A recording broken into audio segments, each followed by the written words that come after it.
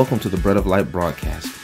We pray that today's teaching blesses you, encourages you, inspires you, and motivates you to truly live a life worthy of the King of Kings and Lord of Lords that we serve.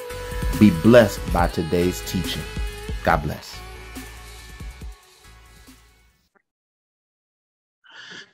we, we, we thank and praise God for the opportunity to to go into his word and to study to show ourselves approved unto him. And he does indeed have a word for us on uh, tonight. We're in the midst of our series on the road to redemption and the road to redemption has many different twists and turns. And tonight we want to talk about influence. We talked about uh, determination. We've talked about uh, being steadfast and being resolved. Tonight, we want to talk about influence and the importance of influence uh, on those around you and, and how God uses something that uh, we take for granted in a word, but if we take that word and break it out, He uses it through influence to truly make an impact in the lives of others, which is what God has called us to do in our lives as believers today.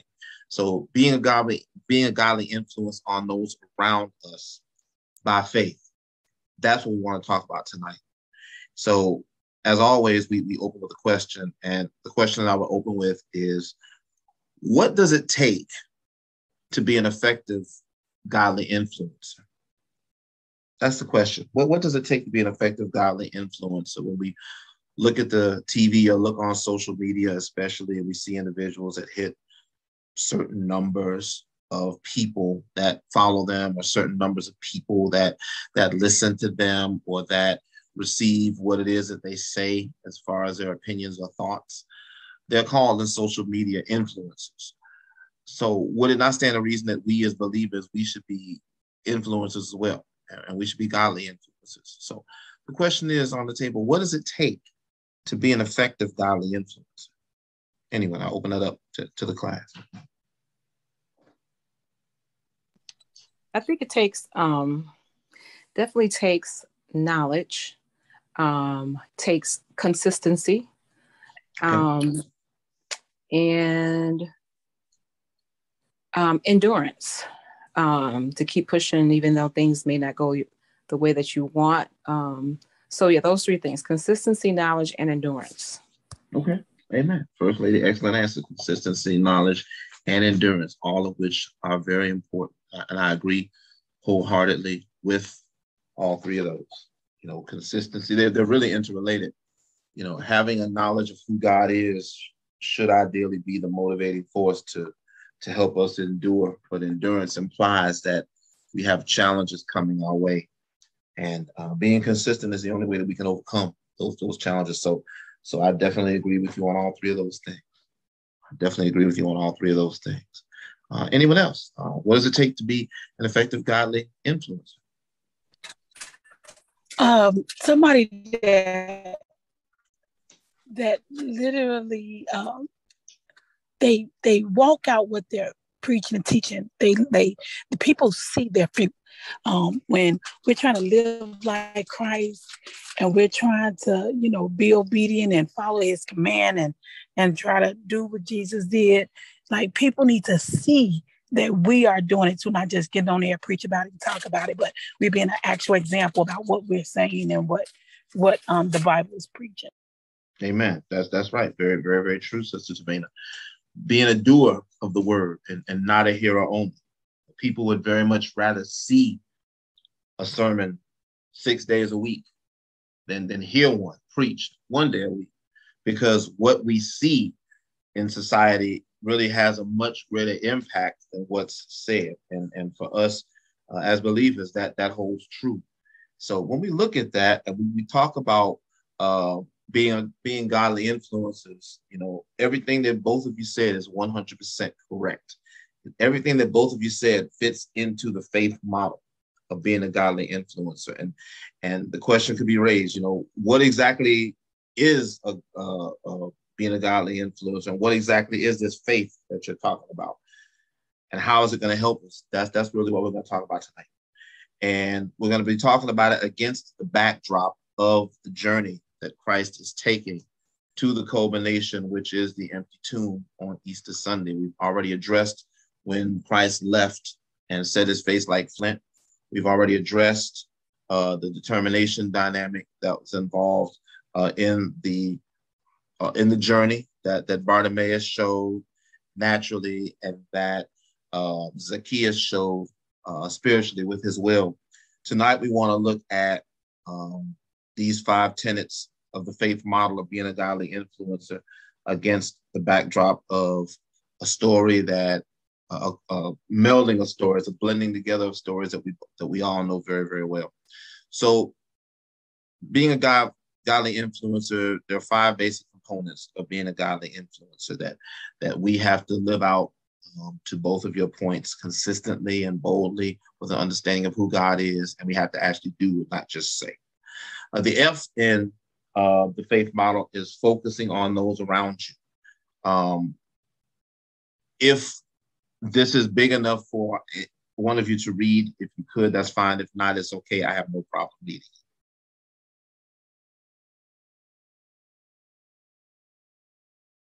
Okay, no problem. I can read it. F is to focus on those around you. John 11 chapter verses 41 through 44 says this. So they took away the stone, and Jesus raised his eyes toward heaven and said, Father, I thank you that you've heard me. I knew that you always hear me and listen to me, but I have said this because of the people standing around, so that they may believe that you have sent me and that you have made me your representative.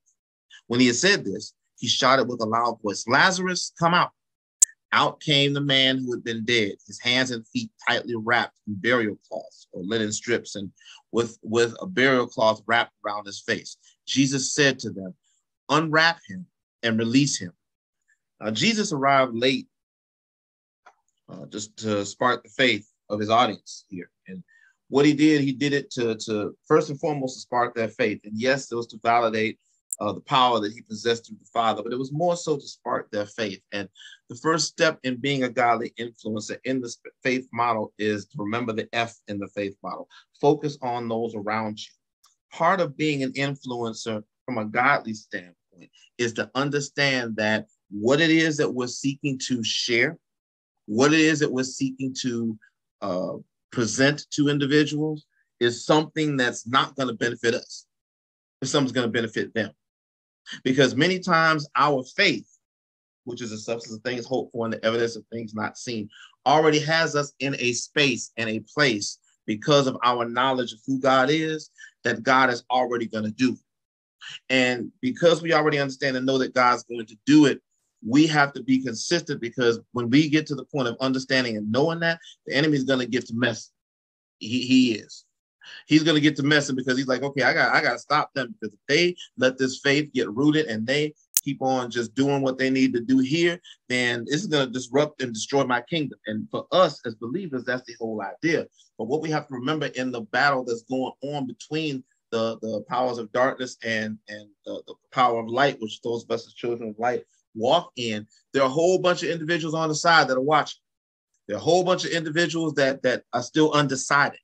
There, there are a whole bunch of individuals that can really sway this thing one way or, or the other. They, the election here for, for mayor was last night, and there was a landslide very, very early in the um, coverage. They were saying we really kind of want, want to watch because it's early in the results coming in, and there are a lot of swing areas out there that, depending on which way they swing, it could have a bearing on this to, to let us know whether or not it's going to be a landslide or whether or not it's going to be a long night. What am I saying? I'm saying that it's in those areas where there's there's swing voters, if you will. Those those areas where there are people that that uh, haven't made their minds up about Christ that that are still available to be won, and that's what was happening here. I'm sure you all you both recognize that that this passage of scripture is out of the uh, discourse in the Word about Lazarus and with La- when Lazarus was raised from the dead. If we look at this in relation to the road to redemption, when Jesus left, he wanted to go through Samaria after he set his face like flint to go towards Jerusalem, but Samaria and the Samaritans wouldn't let him come through. So we talked about this last week. He took the long way, ultimately, the way he's going about taking the long way that gave Jesus an opportunity to run into Bartimaeus and Zacchaeus, who, because he was passing by, their determination gave them both a revelation of who God was. And as God continued to pass through, he stopped in both of those situations and restored sight naturally for Bartimaeus, which activated even more his spiritual sight and validated Zacchaeus' spiritual sight because he took the initiative to position himself to receive from God. It left uh, an impression in them, and noise began to follow. People began to follow. And in following, Jesus continued on because his face never stopped being set towards his destiny. And for us as believers, once our face is set towards our destiny and God is ordering our steps, he begins to use us in ways so that as he uses us and people are blessed, they begin to speak on the things that God is doing. And in the process, God has taken us into bigger things to be a bigger blessing. So that's what happened here. God brought Jesus to the point where he got word that Lazarus was sick, and Jesus purposely slowed down, purposely took his time to get there because he understood in the faith model of being a godly influencer his time was short. And he understood that he could have went there and did all this for the fame to give himself glory. But what he wanted to do was give god glory and in the process put the individuals that were there in a position where they had to trust and believe god and they had to know that only god could do this. They had tried every natural method that they might have known to try to save lazarus's life. They had tried everything in the natural that they knew to do, and nothing worked. And Lazarus, Lazarus had died, and Lazarus, Jesus made sure Lazarus was good and dead, because by the time he got there, he had been gone four days. And even when they talked to Jesus before we got to this point in the scripture about uh, rolling the stone away, when Jesus said roll away, they said, uh, Master, as I paraphrase, he's been gone four days. By now, it's probably smelling pretty bad in there because they didn't have the, the uh, embalming capacity that we have now. Jesus said, That's okay, roll the stone away. And what God desires us to do in our walk is we should be in a constant state of encouraging everybody that we meet to roll the stones in their lives away from things that they've sealed away, things that they buried, things that they thought that were dead, dreams that they thought that were dead, relationships and opportunities that they thought that were dead, not for our glory, and but for God's glory and for their benefit because like Jesus said in the King James Version, it says in this portion here that for the benefit of those that are standing around, Father, this is for their benefit. None of this and none of this and none of what God calls us to do in ministry and in the work that He's given us to do with the gifts and talents He's blessed us with, none of it is designed to give ourselves glory. All of it is designed to give God glory. And in the process of giving God glory, what it does is it blesses others is for the benefit of those that are in the undecided category. It's for the benefit of those that are still trying to decide if I really want to do this. It's for the benefit of those that may know Christ, but they're, they're wavering in their faith. It's, it's for the benefit of those that may have known him at one point in time, but for whatever reason they fell away. Maybe it was a disappointment. Uh, maybe First Lady, to your point, that they, they got sick of being consistent because they didn't see any growth, and they said, "Well, the heck with it. What's the point?" Um, Sister Tavina, to your point, maybe they just gave God real good lip service. But When it came down to, to offering real service, they weren't ready to do it. But they somehow, some way, they never gave up on God. God wants us to continue to be in a constant state of focusing on those around us because Jesus focused on everybody else other than himself. He understood that his function and his role was to be a blessing. His role was to serve and not be served. If anyone deserved to be served, Christ did. But Jesus came because he knew that his job was to serve. And he knew that his service was service that was going to pay eternal dividends. Amen. So, uh, anybody have any questions or any comments or anything they'd like to add or share?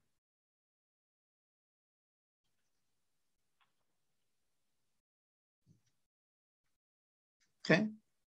Amen. I, is what is what I'm saying making sense? Does it make sense? Yes. yes. Amen. Amen. So God needs us to to to stay focused on those around us because that's what influences do. But the thing that's different between the world's influences and godly influences is that the world's influences are doing it for self and the world's influences are doing it for selfish gain. They're doing it so that ultimately everything comes to them. But if we look at the A in the faith model, being a godly influencer, it's telling us to ask God to open doors. Now you notice it says open doors, not close them. Because what influences ultimately do, they ultimately in the natural. And when I say in the natural, in the natural meaning that they're doing this thing to please self. They ultimately are doing things that ultimately have all roads and all answers lead back to them. Everything is all about them.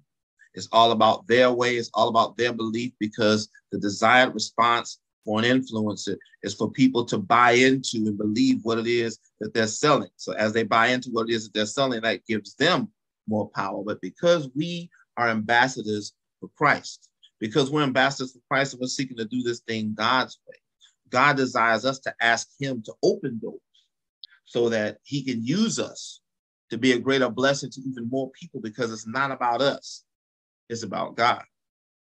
And what it says here on this page is that if we look at John, the 12th chapter, verses 12 through 13, we take we look at another snapshot in this journey. And we're looking now at the next day, literally the next day because Lazarus rose, he came forth, he came out. I'm paraphrasing. They, they set a table for him, sat down and eat, the day closed. So now we're at the next day. And it says here, beginning with verse 12 in John chapter 12, the next day, when the large crowd who had come to the Passover feast heard that Jesus was coming to Jerusalem, they took branches of palm trees and homage to him as king and went out to meet him.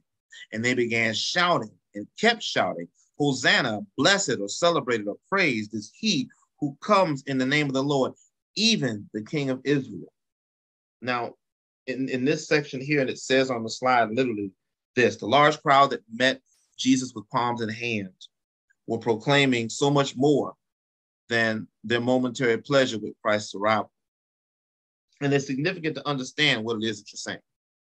Because the word Hosanna is so much more than just a word that we say, like We've heard it said oftentimes, which is true, that the only word in the Bible that translates exactly the same, no matter what language you translate it, is hallelujah.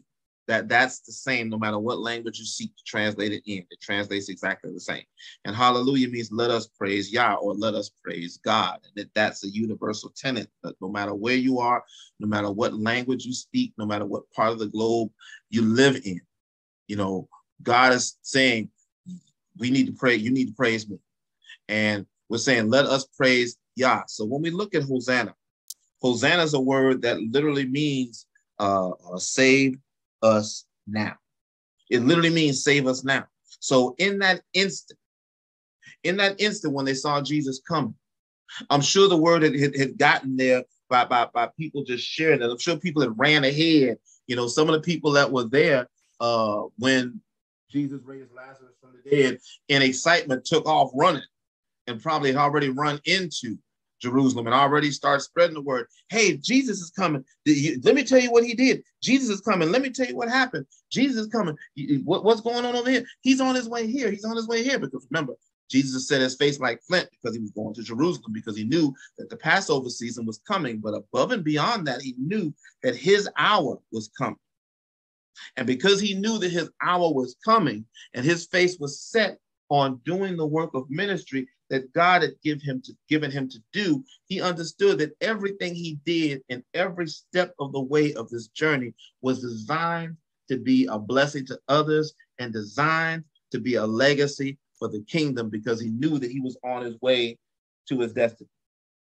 And each and every one of us that have professed the name of Christ have to have that same mindset to really appreciate the magnitude of how much God desires to use us.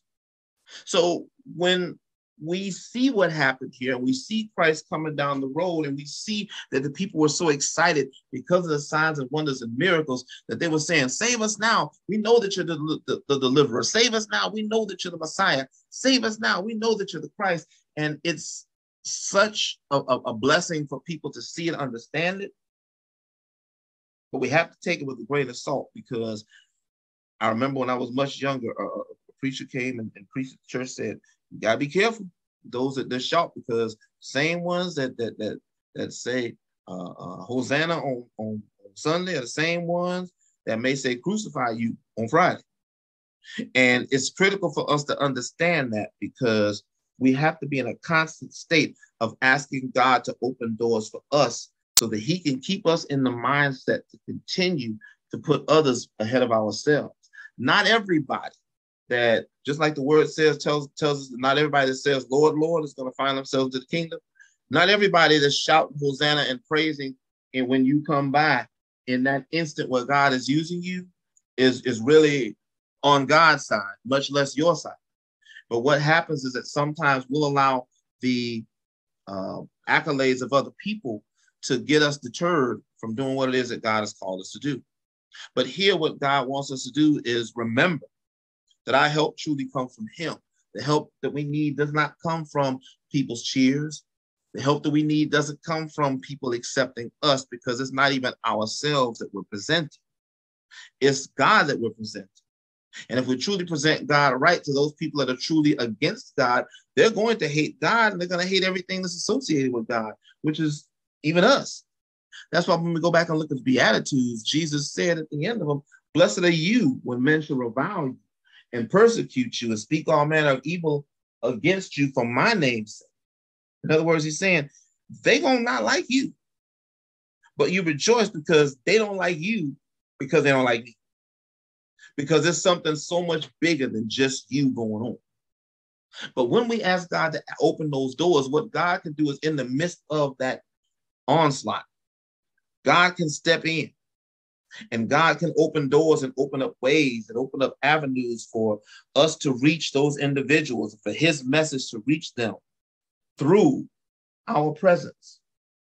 It's not about us, and all God is doing is using us as vessels to deliver the gift. And what we got to be is vessels that are willing to ask God, God, open doors that are locked, open doors that no one's been able to get through before, open doors that people have struggled to get through, but the, the struggle has been too great. Open doors for your glory because it's not about me. I just decided to be used by you. And as I activate my faith, my substance of things hoped for, the evidence of things not seen. I'm doing it, thanking you and praising you that God, you're going to provide the strength. You're going to provide the consistency. You're going to provide the perseverance. You're going to provide the fruit necessary to reach those individuals that everybody else is giving up on. Because God, my work and my job is to leave a legacy in the earth for the kingdom. And I know that I'm moving towards my destiny, oh God. I don't know how many steps that, that I have left. None of us know how many steps we have left, but we're all moving towards our destiny in God. And like Christ, God desires us to leave a legacy. And the greatest legacy that we can leave, to your point, Sister Tavina, is fruit. People that, that, that know Christ, people that desire to know Christ, people that know Christ that are now going out and winning more souls for the kingdom, because that's how the kingdom advances. Anybody have any comments or anything they'd like to share or add?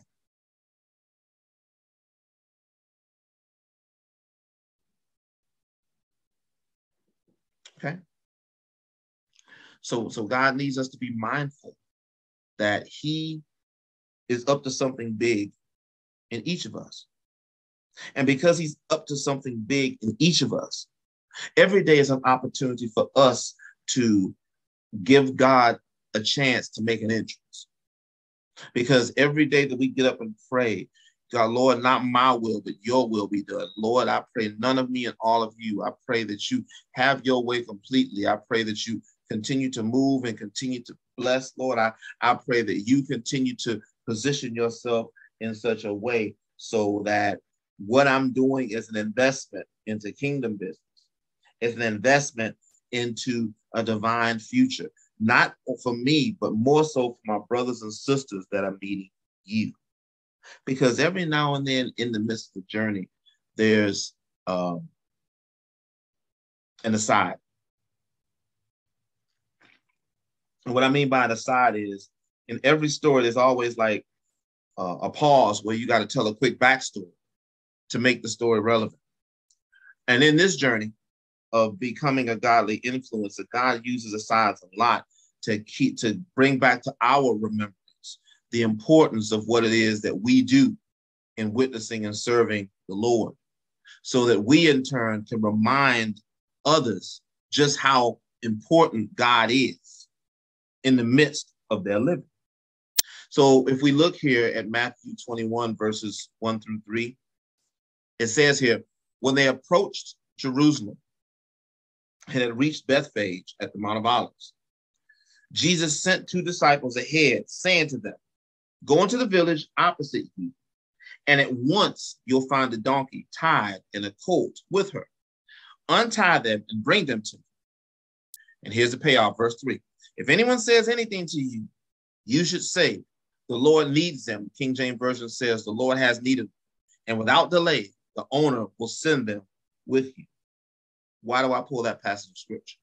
I pull that passage because when you look at all four gospels, this is one of the few passages that you find in all four gospels. And when I was looking at the main passage that we're looking at, which is in John, which is the most intimate approach, which is why we're looking at it, because what we're talking about is a heart thing. This is rooted in God's love. And when I looked at my study time, the Lord had me do a quick aside to gain an understanding about the value of investment in preparation, the value in being in being ready to be used by God, because you never know when that moment is going to come. So as an aside, God took me to Matthew, and He took me to Matthew to gain more insight on what happened to set everything up for that moment in John chapter 12 to happen. See, Jesus didn't have a chance to prepare for the moment at hand. Jesus didn't have the luxury of having a, travel agent to go ahead. He didn't have the luxury of having someone with a cell phone pick up um, pick up the cell phone and call somebody uh, in uh, Jerusalem, right outside of Jerusalem, and say, you know what, I need you to have a, a, a donkey ready for me. Couldn't call Hertz and, and, and have a donkey rented. It wasn't ready. There was no reservation made. But because Christ was all knowing, and I need you to catch this, because he was all knowing, he knew who he could call upon to have ready what it was that he needed. Because since God is all knowing, he knew that the individuals that owned that donkey, had owned that colt, had already prepared themselves to respond not to the man's directive, but to respond to God's mandate. The Lord has need of it because they understood and knew who God was. They understood and knew the significance of who Christ was. They understood and knew the magnitude of the miracles that were being done, not because of the fact that they're being done, but they understood it against the backdrop of having a relationship with God and understanding the laws and the prophets. And as we continue to strive to build and grow our relationship, to grow a deeper relationship with God, to grow a stronger bond with God, to grow a, a deeper love for Christ, to, to grow in the knowledge and wisdom of Him and in doing His will. What happens is, is we spend that time in prayer and we spend that time in study and we spend that time in fellowship with other believers and we're consistent in doing it and we're persistent in doing it and, and our knowledge levels grow we begin to have fruit beginning to, to develop all around us. We begin, we're beginning to have fruit as we witness to other people, and we have fruit as we encourage other people, and we have fruit as we sow seeds into other people. And, and what happens is that as God is using us to do those things, He knows when He can call upon. Because since we understand Him and since we know His voice, because the word says that my sheep know my voice, and the strangers will not follow. A whole bunch of people are going to come and say a whole bunch of stuff but when it registers in our spirit, man, and our spirit identifies with the Holy Spirit in Christ that's speaking in that instant, we'll understand and know, okay, this is God. The Lord has need of me right now. He has need of me saying this word. He has need of me releasing this word in this season. He has need of me sowing this seed in this season. He has need of me going into this region in this season. He has need of me laying hands in this season because I understand that the word says that I can lay hands on the sick and they recover, that I can tread on serpents and scorpions and, and, and nothing will happen to me, that I can drink deadly things if need be and no harm will come to me, that I can be in a position where when it looks like the odds are stacked completely against me, that victory is mine because God for me is more than the whole world against me because who can stand against God? No one. So what God needs us to, to understand in the midst of our journey is that we've got to be ready and we've got to be available to be used by God. We've got to be ready and be available to be used by him today. We got to be ready and be available to be used by Him to bless other people because God still has need of men and women that are completely sold out for Him. God still has need for men and women that are truly willing to live out God, for you I'll live and for you I'll die. God is still in need of men and women that are more concerned with making Him look good than making themselves look good. Because ministry is about helping people. Ministry is not about helping ourselves. Because as God uses us to help people, God uses other people to help us. Because that's how God set it up. No individual is an island. God desires us to be a blessing to one another. And as we grow in being a blessing to one another, what God then does is He gives us even greater insight and even greater clarity so that we have an even, even greater witness as we go into doing the work of ministry. See, when these asides come along, these asides come along to help us gain insight on what it is that we're doing and on the why behind what it is that we're doing. God wants us to understand the reason why I have you doing what you're doing, the reason why the interest that you're making is so profound, the reason why you're having this type of impact is not because of anything that you can do, it has nothing to do with you. It's all about me. The only thing it has to do with you is the willingness that you continue to display in allowing me to be me, God says, in your life, and allowing me to use you because you're staying prepared, because you're staying ready, because you're staying filled, because you're staying equipped, because you're staying anointed, because you're staying in position to move and to go where I send you, God says. Anybody have any questions or any thoughts that they'd like to share here?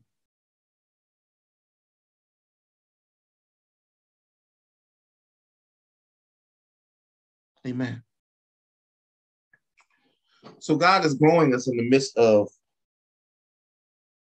the process. And it is a process. And the thing about a process is that it moves forward. And for each of us, it can move forward at different paces. And for each of us, it can move forward in different ways, and it might call us to do different things. And the key thing that we've got to remember in going through all of these things is that God's desire is to use us as we walk by faith.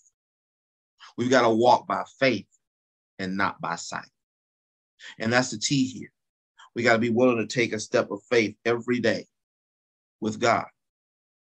And it says here in verse 17 of John 12 so the people who were with him, and this is continuing in the uh, Palm Sunday narrative. So the people who were with him when he called Lazarus out of the tomb and raised him from the dead continued to tell others about him. And that's so important. Continued to tell others about him. They didn't do it just once, they kept on doing it. And that, that speaks to um, your point, Sister Vina, having, having the fruit making sure that there's a whole bunch of fruit, making sure there's a lot of fruit around. Because fruit is something that, uh, if, if you're health conscious, you can eat a whole lot of it and it's not going to hurt you. But if a person eats a whole lot of it, that means there's got to be a whole lot more so that it can be replenished as people eat it. So what happened was is that those that, that witnessed what, what Jesus had done for Lazarus uh, the day before, those that witnessed it were, were really moved to, to walk by faith. They were moved to walk by faith and really keep on telling because it wasn't about what they had seen, it's about what they believe. And they believed that who Christ was. They believed it because firsthand they, they got a they got a glimpse of what God could do. Firsthand, they got a glimpse at faith and power on display and at work respectively. And when faith and power meet, miracles take place. And they were going into a, they were going into hostile territory. You got to understand, they were in Jerusalem now. They were in the capital now. They were in a place where they didn't not only did they not believe what it was that Jesus was saying, but they were actually conspiring to find a way to get rid of Jesus, to get him to stop saying. And if individuals conspired against Christ, we have to be mindful that people will conspire against us. And sometimes the conspiring that happens against us and the conspiring that happens can form just like a cloud, can form like a like a storm cloud. I was watching the news earlier today and they were talking about tornadoes in Georgia. They're talking about how the tornadoes are coming and how how before the tornadoes you hear the sound. We've all heard it. The sound it sounds like a freight train, and all of a sudden you see stuff moving, and then out of nowhere you see this happening, you see that happening, and and and, and when it when you hear it coming, all you can do is get prepared. And the best that you try to get prepared, it doesn't always prepare you. And what God needs us to understand is that in walking by faith, that's the only thing that prepares us because faith is based on our belief system. It's not based on our natural senses. It's based on our belief system. It's based on something that's rooted on the inside. It's based on something that's linked on the inside. It's based on something that, that has nothing to do with what we can see, what we can smell, what we can taste, what we can touch, has nothing to do with any of those things. It's based on the fact that we believe that God is who he says he is, that God can do what he says he can do, that God is exactly who the word says that he is, and that he'll continue to move in the exact way that the word says that he'll continue to move. So, in doing that and in seeing what happened, the believers that were there when Jesus came, the believers that were there, even more so, cried out even louder. They said, Yeah, I'm uh, yes, this is what I'm talking about. You see here, this is what's happening. What you see out here, and I'm paraphrasing, of course, what you see out here is nothing compared to what we saw yesterday. What we saw yesterday was we told that story. You don't think for a minute that that didn't put some of those people on the blacklist or on the hit list for the religious leaders of the day? You don't think for a minute that that didn't upset the church of that day? That upset a whole lot of stuff. Because what it did was it forced individuals, which is the H in our journey of being a godly influencer, what it did is it is it served as a way to help other people move from walking in fear or that false evidence that appears real to walking in the freedom that comes with walking by faith. Because verse 18 said in John, the 12th chapter, for this reason, this reason being those in verse 17 that went out there and proclaimed the good news. For this reason, the crowd went to meet him because they heard that he had performed these miraculous things. What happened was with people that didn't know Christ, that people that when people that were on the fence about Christ uh, made the decision to to go check out Christ and, and, and see what's happening. And they did as the word says, they tasted and saw that God indeed was good. It, had, it began to have an impact in their lives. And it began to, to break the scales off of their eyes. And it began to break them out of the religion that so many have fallen into and usher them into a true relationship with Jesus Christ. And when we do this thing God's way, this is the payoff in becoming a godly influencer using the faith model. Because we have proven, tried, and tested by people watching us that it's not about us, but it's about God. Because we truly put the needs of others ahead of our own. It's truly not about us, but instead it's about God because we've truly activated everything uh, all around us and we've asked God to open doors. We, we, we've let them people see that because we've asked God to open doors, we've allowed God to, to enter in. And because God has, has, has entered in, we've invited God into the situation and God is moving and God is making a difference in people's lives. And, and as he's doing that, what it's doing is that it is, is prompting those that saw to truly walk by faith and, and not be worried about anything that happens. They're, standing on the word. You know, I'm doing this thing for God. What can man do to me? Man can't do anything to me because now that I'm truly liberated and I understand who God is, even if death comes, it's okay. Because to be absent from the body, guess what? I'm present with the Lord. I don't have to dialogue through prayer and dialogue through seeking because I'm in his presence. And in his presence, there's truly fullness of joy. That doesn't mean that I don't have joy here because the joy that I have here, I'm finding in serving him. Because in serving him, what it's doing is it's helping other people move out of that fear into the freedom of serving him just like me. Which means it's giving, giving God more praise, which is giving God more desire to do even greater works here in the earth. And in doing greater works in the earth has given us even more opportunity to lift up the name of Jesus and win more souls for the kingdom. So, this faith model of being a godly influencer is really the key that God wants us to use long after the road to redemption that we're studying has ended from a study standpoint, because the road never ends, because there's always individuals that don't know Christ. And God desires us to truly be the living witnesses that He's called us to be, to be a blessing to others. Because in becoming those living witnesses, that ultimately should be the motivating factor in doing what it is that we do. Because being a living witness opens a door for other people's eyes and ears and hearts of understanding to be enlightened. So they so that they might come into the same knowledge that we've come into. That's how Jesus is glorified, and that's how the kingdom grows. So I have a question. Now that we've taken a look at the faith model in becoming godly influencers, the question is this What areas in the faith model do you find to be the areas that you're most comfortable in and the areas that you feel you need to work in the most? because each of us are in different places but the thing that we that, that that's a blessing is that we're working towards perfection. So that's the question i want to pose to the class. What do you feel is your strongest aspect of the faith, faith model? And what do you feel is your uh, aspect that you you need to work on the most to, to grow it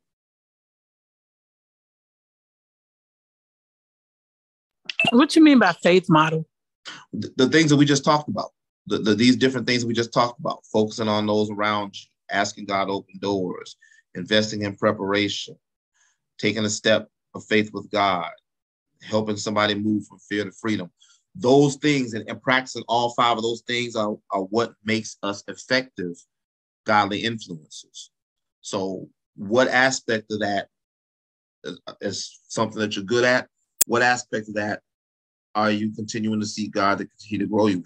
Like for instance, for me, um, for me when I look at it, focusing on those around me is something that I, I'm pretty strong at. But the thing that I have to continue to work on is uh, taking that step of faith because I'm good at taking steps of faith to a degree. But when it gets to the point where the step that I'm taking is much higher or much longer than I've ever taken before, I might hesitate a little bit. Doesn't mean I'm not going to take it, but I might hesitate a little bit. So my prayer is that Lord, take that hesitation away, because I know if you've kept me to get me from there to there, and from there to there, and from there to here, you'll keep me from here to wherever you're taking me because you've not failed me yet. That, that's what I mean. Okay, thank you. You're welcome. And if you, don't know right, go ahead. I'm sorry.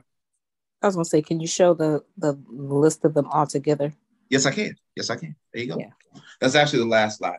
Um, oh. So yeah, being, being a God, godly influencer involves each of these steps. And there's no right or wrong answer. No, this is how we as a body grow. And as we continue to pray for one another and encourage one another, we all grow.